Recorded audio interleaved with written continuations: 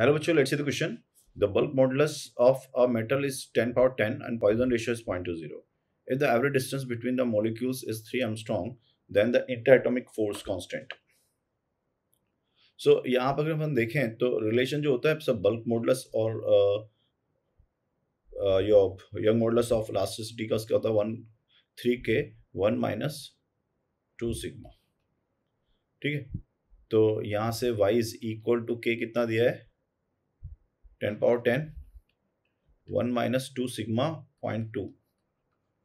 So Y जो हो जाएगा, ये हो जाएगा one point eight into ten power ten. ठीक है? और इंटर एटॉमिक फोर्स क्या होता है? That is your Y into R ये इंटर एटॉमिक फोर्स होता है। इसको हम कैसे भी डिफाइन करते हैं, या एफ़ कैसे भी डिफाइन करते हैं। तो वाई कितना है आपका? That is one point eight into ten power of ten into R three angstrom ten power ten so ये हो जाएगा आपका five point four Newton. So right answer is A, all the best.